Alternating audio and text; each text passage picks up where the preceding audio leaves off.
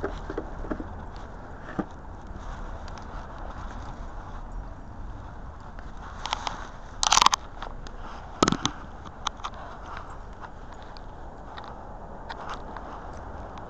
amazes me how many people try to get into my videos being idiots.